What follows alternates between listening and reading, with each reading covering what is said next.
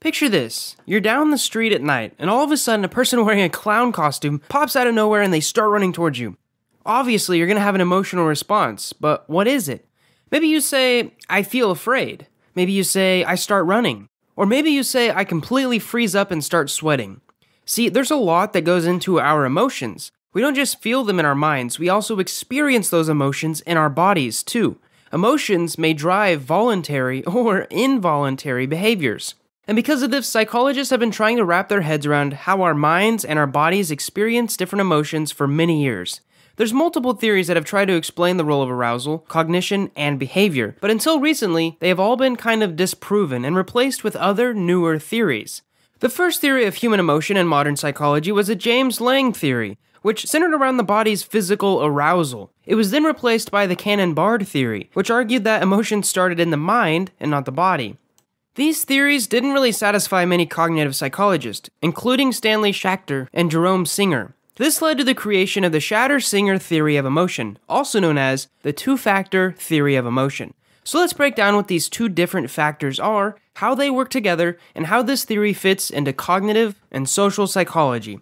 So, first off, what is the two factor theory of emotion? The two factor theory of emotion recognizes that both cognition and arousal play a part in the identification and feelings of emotions. Emotion is not only caused by a sensation in the body, or only caused by thoughts in the mind. Both of these processes influence the emotions that we feel and express those emotions to others. Things like context, past experiences, and a person's knowledge of their own body can also play a part in how they label or experience emotions. So let's get into the two factors. Schachter and Singer believed that people felt emotions when they experienced arousal and had context or stimuli to help them identify and label these feelings. This process started with arousal. So the first one is physical. In the world of psychology, arousal is a state of wakefulness to the point of perception. And while it does have a role in sexual feelings, arousal is also important in fight or flight, consciousness, or just simply paying attention. Whenever a person encounters stimuli that evoke certain emotions, they first experience it as physiological arousal, this arousal takes place in the sympathetic nervous system. Maybe your palms get sweaty, or your chest starts to tighten, or maybe your hands and feet become numb. The second factor is mental. Once a person notices this arousal, they must use environmental cues to interpret what is happening. This leads them to identify their emotions. This cognitive process is called appraisal. When people are faced with a potentially threatening stimulus, they go through one or maybe even multiple rounds of appraisal. First, a person will experience primary appraisal. Their mind asks, Is this stimulus a threat? In the example I used at the beginning of this video, you would probably come to the conclusion that a strange clown running at you is a threat. Next comes secondary appraisal.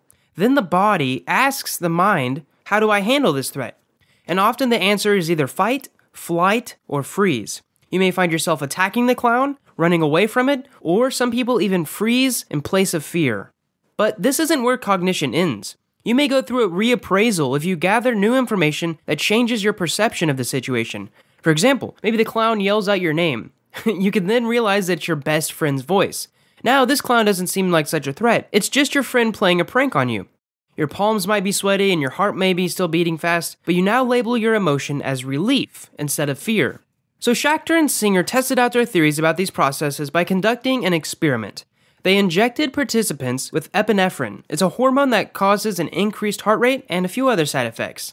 But these participants knew that they were going to experience these side effects, but some of them didn't. Then the participants were placed in a room with a Confederate, and the Confederate either acted euphorically or angrily towards the participants. The participants that knew about the side effects did not report significant changes in their emotions, but the participants that didn't know there were going to be side effects, they were very much more likely to report changes in their mood. So the participants in the room with the euphoric Confederate were more likely to label their emotions as euphoria. And in the room where there was an angry Confederate, they were more likely to label their emotions as anger.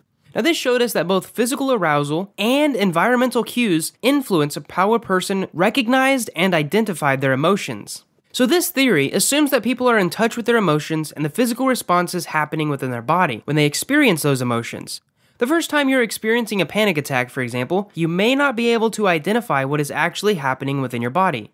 These new sensations, like your chest tightening or your hands tingling, may be confusing to you. Yet they are still occurring, whether or not you can identify them. A study attempted to disprove the two factor theory of emotion involved men on a bridge.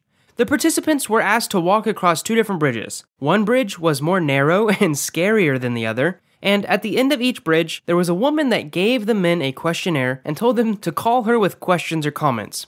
Interestingly enough, the researchers found that the men who walked across the scary bridge were much more likely to call the woman, and, in their phone call, tell stories that contained sexual content. So, you may be asking why did they do this? Well, the researchers believe that the men experience physiological arousal by walking across the scary bridge. Their body kind of reacted in a way. And then the men used cognitive processes to determine that their arousal was due to the sexual attraction to the woman, not to the bridge. This is actually called the misattribution of arousal. So one could argue that the men labeled their emotions incorrectly, but only because their physiological arousal and their cognitive interpretations were done in two separate processes. This study seems to give evidence to the two factor theory of emotion. Lastly, I want to give a little bit about criticism on the two factor theory of emotion, because it's relatively new to the world of psychology. It was first introduced in 1962, and not all replications of Schachter's and Singer's original studies have gotten the same results. While there may be more to explain when it comes to the mental and physical processes involved in identifying emotions, Schachter's and Singer's theory bring us closer than some of the simpler explanations that came before it. I really hope you enjoyed this video on the two factor theory of emotion, and most of all, I hope that you learned something. If you have any questions, feel free to leave a comment below and check out some of the other videos in my series. Thanks for watching!